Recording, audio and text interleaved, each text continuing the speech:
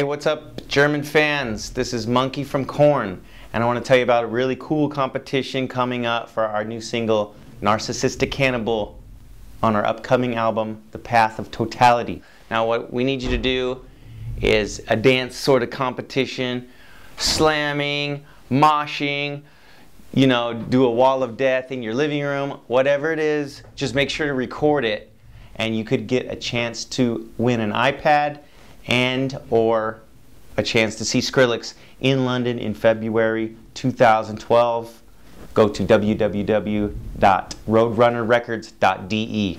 Thanks.